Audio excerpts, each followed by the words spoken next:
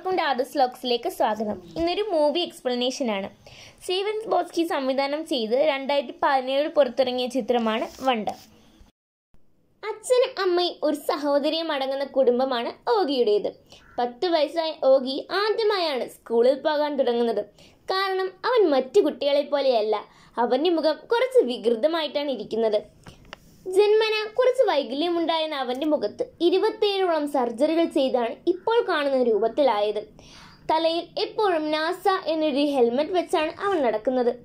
ഒരു ആസ്ട്രോണറ്റ് ആവണമെന്നാണ് അവന്റെ ആഗ്രഹം. പക്ഷേ പത്ത് വയസ്സ് വരെ അവൻ സ്കൂളിൽ പോയില്ല. അമ്മയാണ് അവനെ എല്ലാം പഠിപ്പിച്ചത്. അച്ഛനോടും അമ്മയോടും എല്ലാം അവന് വളരെ സ്നേഹമായിരുന്നു. പക്ഷെ അമ്മയായിരുന്നു അവന്റെ എല്ലാം. കളിക്കുമ്പോഴും സൈക്കിൾ ചവിട്ടുമ്പോഴും പുറത്തു പോകുമ്പോഴും എല്ലാം അവന്റെ തലയിൽ ആ ഹെൽമെറ്റ് ഉണ്ടാകും. ആരും അവനോട് മിണ്ടാറില്ല. മറ്റുള്ളവരോട് മിണ്ടാനുള്ള കോൺഫിഡൻസ് അവനുമില്ലായിരുന്നു. അതിനാൽ മാതാപിതാക്കളും സഹോദരിയുമല്ലാതെ മറ്റാരുമായും അവനൊരു ബന്ധവുമില്ലായിരുന്നു അങ്ങനെ പത്ത് വയസ്സായപ്പോഴാണ് ഓഗി ആദ്യമായി സ്കൂളിൽ പോകുവാൻ തുടങ്ങുന്നത്. അതും അമ്മയുടെ നിർബന്ധത്തിന് വഴങ്ങി അവൻ സമ്മതിക്കുകയായിരുന്നു. അമ്മ ഓഗിയെയും കൊണ്ട് സ്കൂളിലെത്തി. ഫിഫ്ത്ത് സ്റ്റാൻഡേർഡിലാണ് അഡ്മിഷൻ എടുത്തത്. അഡ്മിഷനൊക്കെ കഴിഞ്ഞ് സ്കൂൾ മുഴുവൻ കാണിക്കാൻ വേണ്ടി നേരത്തെ അവിടെയുള്ള കുട്ടികളെയും കൂട്ടി അവനെ വിടുന്നു. അതിനുശേഷം അവർ വീട്ടിലേക്ക് തിരികെ പോന്നു. ഇനി നാളെയാണ് ആകെ സ്കൂളിൽ പോയി തുടങ്ങുന്നത്. എല്ലാവരും വളരെ സന്തോഷത്തിലായിരുന്നു. രാവിലെ അമ്മയും അച്ഛനും സഹോദരിയും കൂടിയാണ് അവനെ സ്കൂളിൽ കൊണ്ടുവന്നത്. സ്കൂളിൽ എത്തിയപ്പോൾ അമ്മ ഓഗിയോട് പറഞ്ഞു മോനി എല്ലാവരോടും നന്നായി പെരുമാറണം. ഒരു വിഷമവും ഉണ്ടാവില്ല നിനക്കിവിടെ. സന്തോഷമായിട്ടിരിക്കൂ ഓക്കെ? അവന്റെ അച്ഛൻ ഓഗിയുടെ തലയിൽ നിന്ന് ഹെൽമറ്റ് ഊരിയെടുത്തു. ഞാൻ പോയി വരാം അച്ഛ എന്ന് പറഞ്ഞ് സന്തോഷത്തോടെ ഓഗി സ്കൂളിലേക്ക് പോയി. അവൻ പോകുന്നതും നോക്കി നിറ കണ്ണുകളോടെ അച്ഛനും അമ്മയും ഈശ്വര എന്റെ മകന് അവിടെ ഒരു വിഷമവും ഉണ്ടാകരുതേ എന്നവർ പ്രാർത്ഥിച്ചു. ഓഗി സ്കൂളിലേക്ക് നടന്നു. മറ്റു കുട്ടികളൊക്കെ അവനെ അതിശയത്തോടെ നോക്കി. ആരും അവനോട് മിണ്ടിയില്ല. ഓഗിക്ക് ചെറിയ സങ്കടമൊക്കെ തോന്നി. എന്നിട്ടും അവൻ മുമ്പോട്ട് നടന്ന് ക്ലാസ് റൂമിലെത്തി ഒരിടത്ത് തിരിക്കാൻ തുടങ്ങിയപ്പോൾ അടുത്തിരുന്ന കുട്ടി പറഞ്ഞു ഗോസിന് മുഖം വെച്ച് ഇവിടെ ഇരിക്കാൻ പറ്റില്ല. ഇത് കേട്ട് ഒന്നും മിണ്ടാതെ യോഗി പോയി ഒരു മൂലക്കിരുന്നു അപ്പോൾ തൊട്ടടുത്തായി ജാക്ക് എന്ന സ്റ്റുഡന്റ് വന്നിരുന്നു. ക്ലാസ് ടീച്ചർ വന്നപ്പോൾ എല്ലാവരും സ്വയം ഇൻട്രൊഡ്യൂസ് ചെയ്യാൻ പറഞ്ഞു. ഓഗിയുടെ ഊഴം വന്നപ്പോൾ അവൻ മടിച്ച് മടിച്ച് പറഞ്ഞു എന്റെ പേര് ഓഗി. എനിക്ക് അച്ഛനും അമ്മയും വിയ എന്നൊരു സിസ്റ്ററും പിന്നെ പിന്നെ ഒരു പട്ടിക്കുട്ടിയും ഉണ്ട് എനിക്കൊരു അസ്ട്രോണറ്റ് ആകാനാണ് ഇഷ്ടം. അവിടെ നിന്ന് സീൻ കട്ട് ചെയ്ത് സ്കൂളിലെ ലഞ്ച് ടൈമാണ് കാണിക്കുന്നത്.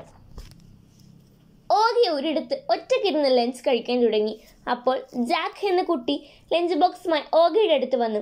ഓഗി ഞാൻ കൂടെ വന്നിരുന്ന് കഴിച്ചോട്ടെ? എന്ന് ചോദിച്ചു. അത് കേട്ട് വളരെ സന്തോഷമായി യോഗി പറഞ്ഞ് ഓ ഇരുന്നോളൂ ഇരുന്നോളൂ. പക്ഷെ ആ കുട്ടി അവനെ കളിയാക്കാനായിരുന്നു അടിച്ചോടിച്ചത് അവൻ പറഞ്ഞു ഓ പിന്നെ ഇതുപോലെ ഗോസിന്റെ മുഖമുള്ള നിന്റെ അടുത്ത് ഇരുന്ന് ആര് ഫുഡ് കഴിക്കും? എന്ന് പറഞ്ഞ് അവൻ മറ്റൊരിടത്ത് പോയിരുന്നു. ഓഗയ്ക്കത് വലിയ വിഷമമായി. പിന്നെ ക്ലാസ് റൂമിൽ വെച്ച് ടീച്ചർ ചോദിച്ച ചോദ്യങ്ങൾക്ക് അത്രയും അവൻ മിടുക്കനായി റിപ്ലൈ ചെയ്തു. വൈകിട്ട് സ്കൂൾ വിട്ട് പുറത്തേക്കിറങ്ങി ഓഗിയെ കുട്ടികളൊക്കെ കളിയാക്കിക്കൊണ്ടിരുന്നു. ഇതൊക്കെ കേട്ട് വിഷമിച്ച് പുറത്തേക്കിറങ്ങിയ ഓഗിയെ കാത്ത് അമ്മ നിൽപ്പുണ്ടായിരുന്നു. അമ്മയുടെ അടുത്തെത്തി ഓഗി പെട്ടെന്ന് അമ്മയുടെ കയ്യിൽ നിന്നും ഹെൽമെറ്റ് വാങ്ങി തലയിൽ വെച്ച് നടക്കാൻ തുടങ്ങി. ഓഗി ഇന്ന് സ്കൂളിൽ എങ്ങനെയുണ്ടായിരുന്നു? എന്ന് അമ്മ ചോദിച്ചതൊന്നും അവൻ കേട്ടില്ല. അപ്പോൾ അമ്മയ്ക്ക് മനസ്സിലായി എന്തൊക്കെയോ വിഷമങ്ങൾ ഓഗിക്ക് ഇന്ന് സ്കൂളിൽ ഉണ്ടായിട്ടുണ്ടെന്ന്. രാത്രി എല്ലാവരും ഡിന്നർ കഴിക്കാനിരുന്നു. ഓഗി അപ്പോഴും ഹെൽമറ്റ് മാറ്റിയിരുന്നില്ല. അപ്പോൾ അമ്മ വന്ന് ഹെൽമറ്റിന്റെ മുൻവശം അല്പം മാറ്റി ചോദിച്ചു ഹേ ഓഗി ഇന്ന് സ്കൂൾ എങ്ങനെയുണ്ടായിരുന്നു? ഓ കുഴപ്പമില്ലായിരുന്നു എന്ന് ഓഗി പറഞ്ഞു. അങ്ങനെയാണോ? അതോ ആരെങ്കിലും നിന്നെ ഹർട്ട് ചെയ്തോ? എന്ന് അമ്മ വീണ്ടും ചോദിച്ചു. അത് കേട്ട് ദേഷ്യം വന്ന ഓഗി കുഴപ്പമൊന്നുമില്ലെന്ന് പറഞ്ഞില്ലേ? എന്ന് പറഞ്ഞ് ദേഷ്യത്തോടെ എഴുന്നേറ്റ് പോയി. അമ്മ അവനെ സമാധാനിപ്പിക്കാൻ റൂമിലേക്ക് പോകുന്നു. അമ്മയെ കണ്ട അവൻ ഹെൽമെറ്റ് എടുത്ത് മാറ്റി അമ്മയോട് ദേഷ്യപ്പെട്ട് സംസാരിച്ചതിന് സോറി പറയുന്നു. എന്നിട്ട് വളരെ സങ്കടത്തോടെ അവൻ അമ്മയോട് പറഞ്ഞു എന്താ അമ്മേ ഞാൻ ഇത്രയ്ക്ക് വിരൂപനായത്? അതുകൊണ്ടല്ലേ എന്നോട് ആരും സംസാരിക്കാത്തത്? ഇത് കേട്ട് വലിയ വിഷമമായ അമ്മ ആകെയോട് പറഞ്ഞു ആര് പറഞ്ഞു എന്റെ മോൻ വിരൂപനാണെന്ന്? നീ അത്രയ്ക്ക് വിരൂപനൊന്നുമല്ല മോനെ. യഥാർത്ഥ സൗന്ദര്യം ഒരാളുടെ മുഖത്തല്ല മനസ്സിലാണ്. അത് പതുക്കെ എല്ലാവർക്കും മനസ്സിലാകുകയുള്ളൂ. നീ ഇതുപോലെ ഇരുന്നാൽ മതി. എല്ലാം തനിയെ ശരിയായിക്കൊള്ളും. അപ്പോഴേക്കും ഓഗിയുടെ അച്ഛനും അങ്ങോട്ട് വന്നു. രണ്ടു പേരും കൂടി കളിപ്പിച്ച് ചിരിപ്പിച്ച് ഓഗിയുടെ മൂട് മാറ്റിയെടുത്തു. ഓഗിയുടെ സിസ്റ്ററായ വിയുടെ ബെസ്റ്റ് ഫ്രണ്ടായിരുന്നു മിറാൻഡ. പക്ഷേ മിറാൻഡ എന്താണെന്നറിയില്ല വിയയോട് അത്രയ്ക്ക് അടുപ്പമൊന്നും കാണിക്കുന്നില്ല. അത് വിയയെ വിഷമിപ്പിക്കുന്നു. ആ സങ്കടവുമായി നിൽക്കുമ്പോഴാണ് ജസ്റ്റിൻ എന്ന പയ്യനുമായി വിയ അടുക്കുന്നത്. അടുത്ത സീനിൽ വീണ്ടും സ്കൂളിൽ ഗ്രൂപ്പ് ഫോട്ടോ എടുക്കുകയാണ്. ഓഗിയുടെ കൂടെ നിൽക്കാൻ ഒരു കുട്ടി പോലും തയ്യാറായില്ല. വളരെ വിഷമത്തോടെ ഓഗി ഒരു സൈഡിൽ നിന്നു. സ്കൂളിൽ വന്ന് കുറേ ദിവസമായിട്ടും ആരും ഓഗിയോട് കൂട്ടുകൂടാൻ ചെന്നില്ല. എല്ലാവരും അവനെ തുറച്ചു നോക്കും. ഇതവനെ കുറച്ചൊന്നുമല്ല വിഷമിപ്പിച്ചത്. ഒരു ദിവസം സയൻസ് ക്ലാസ്സിൽ എക്സാം നടക്കുകയാണ്. നന്നായി പഠിക്കുന്ന ഓഗി പെട്ടെന്ന് തന്നെ എക്സാം എഴുതി തീർന്നു. ഓഗയുടെ തൊട്ടടുത്തിരുന്നത് ജാക്കായിരുന്നു. അവന്റെ ഇരിപ്പ് കണ്ട് ഓഗയ്ക്ക് മനസ്സിലായി. അവന് ഒന്നും അറിയില്ലെന്ന്. ഓഗി പതുക്കെ ജാക്കിനെ തോണ്ടി വിളിച്ചു. എന്നിട്ട് തന്റെ ആൻസർ എഴുതിയ പേപ്പർ കാണിച്ചു കൊടുത്തു. പിന്നീട് ലഞ്ച് സമയത്ത് ഓഗി ഒറ്റക്കിരുന്ന് ഫുഡ് കഴിക്കുകയായിരുന്നു. അപ്പോൾ ജാക്ക് ഫുഡുമായി ഓഗിയുടെ അടുത്ത് വന്നു. എന്നിട്ട് പറഞ്ഞു ഹേയ് ഓഗി താങ്ക്സ് കേട്ടോ. എക്സാമിന് എനിക്ക് ഒന്നും അറിയില്ലായിരുന്നു. നീ ഹെൽപ്പ് ചെയ്തില്ലായിരുന്നെങ്കിൽ ഞാൻ പെട്ടുപോയേനെ. ഞാൻ കൂടി ഇവിടെ ഇരുന്ന് ഫുഡ് കഴിച്ചോട്ടെ എന്ന് ചോദിച്ചുകൊണ്ട് ഓഗിയുടെ അടുത്തിരുന്നു. ഇരുവരും തമാശകൾ പറഞ്ഞ് ആസ്വദിച്ച് ഫുഡ് കഴിക്കാൻ തുടങ്ങി. ഇത് ഓഗിയെ വല്ലാതെ സന്തോഷിപ്പിച്ചു. തനിക്കൊരു ഗുഡ് ഫ്രണ്ടിനെ കിട്ടിയിരിക്കുന്നു. അന്ന് വൈകുന്നേരം സ്കൂൾ വിട്ടപ്പോൾ ഓഗി ജാക്കിന്റെ കൂടെ കളിച്ച് ചിരിച്ച് സന്തോഷമായി വരുന്നതാണ് കാണുന്നത്. അമ്മയുടെ അടുത്ത് വന്ന ഓഗി ജാക്കിനെ അമ്മയ്ക്ക് പരിചയപ്പെടുത്തി കൊടുത്തു. എന്നിട്ട് അമ്മയുടെ കയ്യിലിരുന്ന ഹെൽമറ്റ് വാങ്ങുക പോലും ചെയ്യാതെ അവൻ ജാക്കിന്റെ കൂടെ നടന്നു. ഓഗിയുടെ അമ്മ ഇത് കണ്ട് അന്ത് വിട്ട് നിന്നു.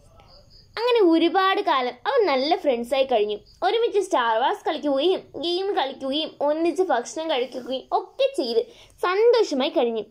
ഓഗയുടെ ഈ മാറ്റം കണ്ട് അവന്റെ പേരൻസിനും ഒരുപാട് സന്തോഷമായി.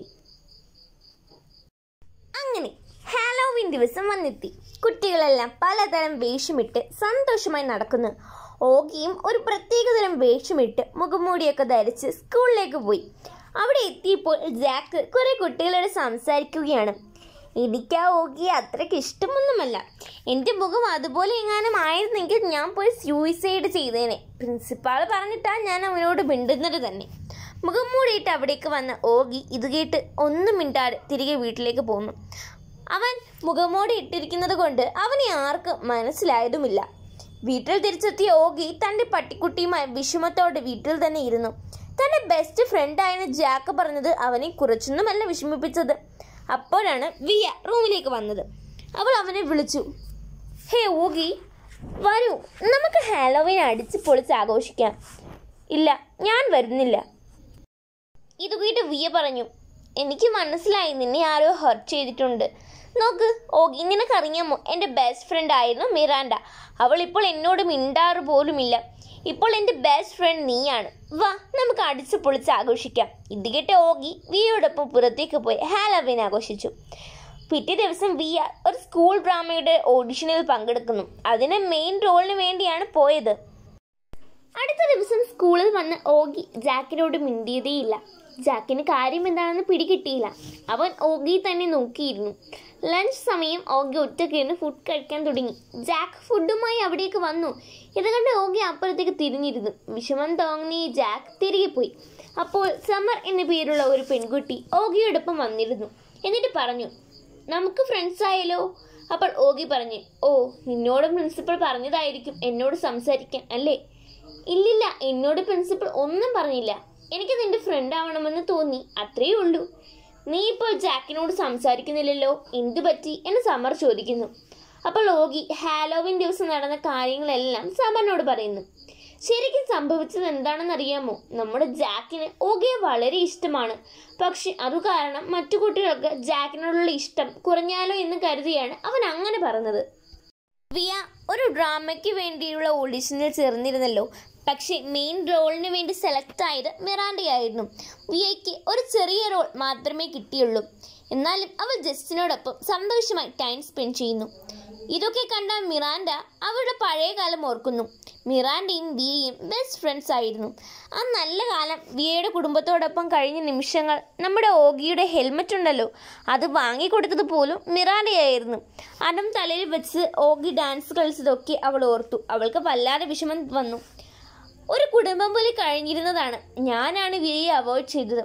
എല്ലാം എന്റെ തെറ്റാണ്? മിറാൻഡ ഓർത്തു. ആ സമയം ഓഗി സമ്മർ എന്ന കുട്ടിയുമായി നല്ല കമ്പനിയായി കഴിഞ്ഞിരുന്നു. ജാക്കിനെ ഇതൊക്കെ കാണുമ്പോൾ വിഷമം വരും. എന്താണ് ഓഗി തന്നെ അവോയ്ഡ് ചെയ്തതെന്ന് എത്ര ആലോചിച്ചിട്ടും ജാക്കിന് പിടികിട്ടിയില്ല. ഒരു ദിവസം ജാക്ക് സമ്മർ എന്ന കുട്ടിയുടെ അടുത്ത് പോയി ചോദിച്ചു നിനക്കറിയാമോ ഹാലോവിൻ ദിവസം മുതൽ ഓഗി എന്നോട് മിണ്ടുന്നില്ല. എന്താണ് കാരണമെന്ന്? നിങ്ങളിപ്പോൾ ഗുഡ് ഫ്രണ്ട്സ് ഒക്കെ ആണല്ലോ. നിന്നോട് ഓഗി എന്തെങ്കിലും പറഞ്ഞു. അത് കേട്ട് സമ്മർ കൂടുതലൊന്നും പറഞ്ഞില്ല. പക്ഷേ ഗോസ്റ്റ് ഫേസ് എന്ന് മാത്രം പറഞ്ഞു. ജാക്കിനൊന്നും മനസ്സിലായില്ല. അവൻ ക്ലാസ് റൂമിൽ ഇരുന്ന് ആലോചിച്ചു. പെട്ടെന്നാണ് അവൻ ഓർമ്മ വന്നത്. ഹാലോവിൻ ദിവസം താൻ മറ്റു കുട്ടികളോട് ഓഗിയെക്കുറിച്ച് മോശമായി സംസാരിച്ചു കൊണ്ടിരുന്നപ്പോൾ ഗോസ്റ്റിന്റെ മുഖം മൂടിയിട്ട് ഒരു കുട്ടി അവിടെ വന്ന് നിന്ന് തിരികെ പോയി ഓർത്തു അത് ഓഗി ആയിരുന്നോ ജാക്ക് വിഷമത്തോടെ ഓഗിയെ നോക്കി. അവൻ അപ്പോൾ എല്ലാം മനസ്സിലായി. അപ്പോഴാണ് സയൻസ് ടീച്ചർ പറയുന്നത് ഈ വർഷത്തെ സയൻസ് എക്സിബിഷൻ നടക്കുമ്പോൾ രണ്ടുപേർ വീതം ചേർന്ന് പ്രോജക്റ്റ് തയ്യാറാക്കണം. പെട്ടെന്ന് പുറകിലിരുന്ന കുട്ടി വിളിച്ചു പറഞ്ഞു ഇവിടെ ഒരു ടീമായി പ്രോജക്ട് ചെയ്യാം. പെട്ടെന്ന് ജാക്ക് പറഞ്ഞു ഇല്ല ഞാനും ഓഗിയും കൂടി ഒരു ടീമായി പ്രോജക്ട് സബ്മിറ്റ് ചെയ്തോളാം. ഒന്നും മനസ്സിലാകാതിരുന്ന ഓഗി മിണ്ടാതിരുന്നു. ടീച്ചർ പോയി കഴിഞ്ഞ് കുട്ടികൾ പുറത്തിറങ്ങിയപ്പോൾ ജാക്കിന്റെ കൂടി പ്രോജക്ട് ചെയ്യാമെന്ന് ആദ്യം പറഞ്ഞ ആ പയ്യൻ ജാക്കിനോട് ചോദിച്ചു നമ്മൾ ഒന്നിച്ച് പ്രോജക്റ്റ് ചെയ്യാമെന്ന് പറഞ്ഞിട്ട് ഞാൻ പറഞ്ഞപ്പോൾ നീ എന്താണ് ആ ഗോസ്റ്റ് ഫേസിന്റെ കൂടെ പ്രോജക്റ്റ് ചെയ്യുകയാണെന്ന് പറഞ്ഞത്? ഇത് കേട്ട ദേഷ്യം വന്ന് ജാക്ക് തിരിഞ്ഞ് അവന്റെ മുഖത്തിട്ട് ഒരു ഇടിയങ്ങ് കൊടുത്തു. പിന്നീട് ഇരുവരും തമ്മിൽ പൊരിഞ്ഞ അടിയായിരുന്നു. ഒടുവിൽ മറ്റേ പയ്യനെ സ്കൂളിൽ നിന്ന് സസ്പെൻഷനും കിട്ടി പോകേണ്ടിയും വന്നു. ഒരു ദിവസം നമ്മുടെ ആഗി വീട്ടിൽ നിന്ന് മൈൻക്രാഫ്റ്റ് കളിച്ചുകൊണ്ടിരിക്കുകയായിരുന്നു. അതൊരു മൾട്ടിപ്ലെയർ ഗെയിമാണ് അതുകൊണ്ട് തന്നെ ജാക്ക് അതിൽ ചേരുന്നു. അങ്ങനെ അവർ ചാറ്റ് ചെയ്തുകൊണ്ടിരുന്നപ്പോൾ ഓഗി ചോദിച്ചു നിന്നോടൊരു കാര്യം ചോദിച്ചാൽ നീ സത്യം പറയുമോ? എന്താണെന്ന് ചോദിച്ച് ജാക്കിനോട് പറഞ്ഞു. നിന്റെ മുഖം എന്റെ മുഖം പോലെ ആയിരുന്നെങ്കിൽ നീ സൂയിസൈഡ് ചെയ്യുമായിരുന്നു. ഇല്ല ഓഗി ഒരിക്കലുമില്ല. ഞാൻ അത് തന്നെ വെറുതെ അവന്മാരോട് പറഞ്ഞതാണ്. എന്നോട് ക്ഷമിക്ക ഓഗി. നിന്നെ എനിക്ക് ഒരുപാട് ഇഷ്ടമാണ്. ഇത് കേട്ട് ഓഗി പറഞ്ഞു ശരി അത് പോട്ടെ. നമുക്ക് നമ്മുടെ സയൻസ് പ്രോജക്റ്റ് എങ്ങനെ അടിപൊളിയാക്കാം എന്നതിനെക്കുറിച്ച് സംസാരിക്കാം. അങ്ങനെ അവർ വീണ്ടും നല്ല സുഹൃത്തുക്കളായി. ജാക്കിന് ഭയങ്കര സന്തോഷമാവുകയും ചെയ്തു. പിന്നീട് കാണിക്കുന്ന സീൻ സ്കൂളിൽ വിയയും മിറാൻഡയും ഒക്കെ അഭിനയിക്കുന്ന നാടകം നടക്കുന്ന ദിവസമാണ്. ഓഗിയുടെ പേരൻസും വന്നിട്ടുണ്ട്. മിറാൻഡയാണ് ഡ്രാമയുടെ മെയിൻ ക്യാരക്ടർ എന്ന് അവർക്കറിയാം. വിയയ്ക്ക് അതിൽ ചെറിയ റോൾ മാത്രമേ ഉള്ളൂ. വിയും മിറാണ്ടയും തമ്മിലുള്ള പിണക്കമൊന്നും അവർക്കറിയില്ല. അവർ മിറാണ്ടയെ സപ്പോർട്ട് ചെയ്യാനാണ് എത്തിയിരിക്കുന്നത്. എന്ന് മനസ്സിലാക്കിയ മിറാണ്ടയ്ക്ക് കുറ്റബോധം തോന്നി. ഇതിന് പ്രായച്ചിത്തം ചെയ്യണം എന്ന് മനസ്സിലാക്കിയ അവൾ പെട്ടെന്ന് അവൾ ഓടി ഡ്രാമയുടെ നടത്തിപ്പുകാരനായ സാറിന്റെ അടുത്തേക്ക് ഓടി വന്നു.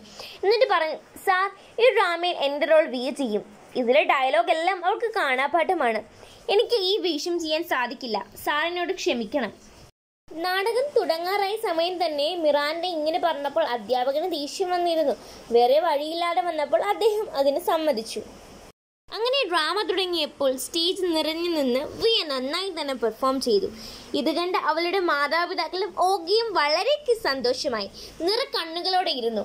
വിയയും പെർഫോമൻസ് കണ്ട് വേദി മുഴുവൻ എഴുന്നേറ്റ് നിന്ന് കൈയടിച്ചു. ഇത് കണ്ട് മിറാൻഡയ്ക്ക് സന്തോഷമായി. അങ്ങനെ അവർ വീണ്ടും നല്ല സുഹൃത്തുക്കളുമായി. സയൻസ് എക്സിബിഷൻ എത്തി. ഓഗിയും ജാക്കും കൂടി വലിയ ഒരു ക്യാമറ ഒബ്സ്ക്യൂർ തയ്യാറാക്കുന്നു. ആ ബോക്സിനുള്ളിൽ നിൽക്കുന്നവർക്ക് പുറത്തുള്ളവരുടെ പ്രതിബിംബം കാണാൻ സാധിക്കും. അത് കണ്ട് എല്ലാവരും അതിശയിക്കുന്നു. അങ്ങനെ ആ കോമ്പറ്റീഷനിൽ ഓഗിയുടെയും ജാക്കിന്റെയും പ്രോജക്റ്റിനാണ് ഫസ്റ്റ് പ്രൈസ് കിട്ടുന്നത്. ഇത് മറ്റു കുട്ടികൾക്ക് അവനോടുള്ള അസൂയയ്ക്ക് കാരണമായി. ഓഗിയുടെ സ്കൂളിൽ നിന്ന് ടൂർ പോകുന്നു. ഓഗി തന്റെ എല്ലാ കുറവുകളും മറന്ന് അടിച്ച് പൊള്ളിച്ച് സന്തോഷിക്കുന്നു. അവർ ബോട്ടിങ്ങിന് പോകുന്നു. ആകെപ്പാടെ രസമാകുന്നു കാര്യങ്ങൾ. അതിനിടയിൽ നമ്മുടെ ഓഗിയും ജാക്കും കൂടി മുള്ളാനായി പോയപ്പോൾ കുറെ കുട്ടികൾ ഓഗിയെ കളിയാക്കാൻ തുടങ്ങി. ജാക്ക് അവരോട് കയറ്റി സംസാരിച്ചു. അപ്പോൾ അവർ ജാക്കിനെ തള്ളിയിട്ടു. അപ്പോഴേക്കും ഓഗിയുടെ ക്ലാസ്സിലുള്ള കുറച്ച് കുട്ടികൾ ഓടി വന്ന് അവന്മാരെ അടിച്ച് പഞ്ചറാക്കി. നിങ്ങൾ തക്ക സമയത്താണ് വന്നത്. ഇല്ലെങ്കിൽ ഞങ്ങളുടെ കാര്യം ഇപ്പോൾ ഒരു തീരുമാനമായേനെ എന്ന് ജാക്ക് പറഞ്ഞപ്പോൾ നമ്മൾക്ക് നല്ല ഫ്രണ്ട്സ് അല്ലേടാ എന്ന് പറഞ്ഞ് അവർ ഓഗിയുടെ അടുത്ത് വന്ന് അവനെ കളിയാക്കിയതിന് ക്ഷമ ചോദിച്ചു. അത് കേട്ട് ഓഗിക്കാണെങ്കിലോ കരച്ചിൽ വന്നു. ഒരു ഫ്രണ്ട് പോലും ഇല്ലാതിരുന്ന എനിക്കിപ്പോൾ ഒരുപാട് ഫ്രണ്ട്സ് ആയിരിക്കുന്നു. എന്നെ അടിക്കാൻ വന്നവരെ തല്ലി ഓടിക്കാൻ ഫ്രണ്ട്സ് ഉണ്ടായിരിക്കുന്നു. അവൻ സന്തോഷം കൊണ്ട് പൊട്ടിക്കരഞ്ഞു പോയി ടൂർ കഴിഞ്ഞ് വന്നപ്പോൾ അവന്റെ പേരൻസ് അവനെ കാട്ടി നിന്നിരുന്നു സ്കൂളിൽ ഗ്രാജുവേഷൻ ഡേ വന്നു. ഫംഗ്ഷൻ നടക്കുകയാണ്. പ്രിൻസിപ്പൽ പ്രസംഗിച്ചുകൊണ്ട് നിൽക്കുന്നു. ഓഗിയുടെയും മറ്റു കുട്ടികളുടെയും പേരൻസ് ഒക്കെ എത്തിയിട്ടുണ്ട്. പ്രിൻസിപ്പൽ പ്രസംഗത്തിനിടെ പറഞ്ഞു എല്ലാ വർഷവും ബെസ്റ്റ് സ്റ്റുഡന്റായി ഒരു കുട്ടിയെ തിരഞ്ഞെടുക്കാറുണ്ട്. ഈ വർഷവും ഒരു കുട്ടിയെ തിരഞ്ഞെടുത്തിട്ടുണ്ട്. അവൻ ഈ സ്കൂളിന്റെ റോക്ക് സ്റ്റാർ ആണ്. അവനാണ് ഫിഫ്ത്ത് സ്റ്റാൻഡേർഡിൽ പഠിക്കുന്ന ഓഗി. ഇത് കേട്ട് എല്ലാവരും കൈയടിച്ച് ബഹളം വെച്ചു. ഓഗിയുടെ അമ്മയ്ക്ക് സന്തോഷം കൊണ്ട് എന്ത് ചെയ്യണമെന്ന് അറിയാതെ നിന്നു. ജാക്ക് ഓഗിയുടെ അടുത്തേക്ക് ഓടി വന്ന് അഭിനന്ദിച്ചു. അപ്പോൾ ഓഗി ഓർത്തു. ആദ്യമേ സ്കൂളിൽ വന്നപ്പോൾ കുട്ടികളെല്ലാം അവനെ തുറിച്ചു നോക്കിക്കൊണ്ട് നിന്നു. കുനിഞ്ഞ ശിരസോടെയാണ് അവൻ നടന്നത്. അന്ന് തന്നെ കളിയാക്കുവരുടെ മുന്നിൽ കൂടി തലയും ഉയർത്തി പിടിച്ച് ഓഗി നടന്ന് സ്റ്റേജിലേക്ക് കയറി. എല്ലാവരും എഴുന്നേറ്റ് നിന്ന് കൈയടിക്കാൻ തുടങ്ങി. പ്രിൻസിപ്പൽ ഓഗിക്ക് മെഡൽ ഇട്ട് കൊടുത്തു. കഴുത്തിൽ മെഡലും ഇട്ട് അവൻ അഭിമാനത്തോടെ നിന്നു. അവിടെ നിന്നുകൊണ്ട് ഓഗി പലതും ഓർത്തു. കാണാൻ വിരൂപനായ ഞാൻ ഇനി ആരും അംഗീകരിക്കുകയും സ്നേഹിക്കുകയും ചെയ്യില്ല എന്നാണ് കരുതിയത്. പലരും അവഗണിച്ചിട്ടും കളിയാക്കിയിട്ടും ഒടുവിൽ വിജയം എന്റെ കൂടെ വന്നു. അതിനെന്നെ സഹായിച്ച അച്ഛൻ അമ്മ സഹോദരി വിയ പിന്നെ ജാക്കും മറ്റു ഫ്രണ്ട്സും എല്ലാവരും ഇന്നെന്നെ അംഗീകരിച്ചിരിക്കുന്നു. എന്റെ ജീവിതം ഒരു വിജയമായിരിക്കുന്നു. അഭിമാനത്തോടെ എല്ലാവരുടെയും മുന്നിൽ ഓകി നിൽക്കുന്ന സീൻ കാണിച്ചുകൊണ്ട് വണ്ടർ എന്ന ഈ മൂവി ഇവിടെ അവസാനിക്കുന്നു. ഈ വീഡിയോ ഇഷ്ടമായെങ്കിൽ ഒന്ന് സബ്സ്ക്രൈബ് ചെയ്യണേ. ബെൽ ഐക്കൺ കൂടി ഇനേബിൾ ചെയ്താൽ ഞങ്ങൾ അപ്ലോഡ് ചെയ്യുന്ന വീഡിയോകൾ നിങ്ങൾക്ക് ലഭ്യമാകുന്നതാണ്.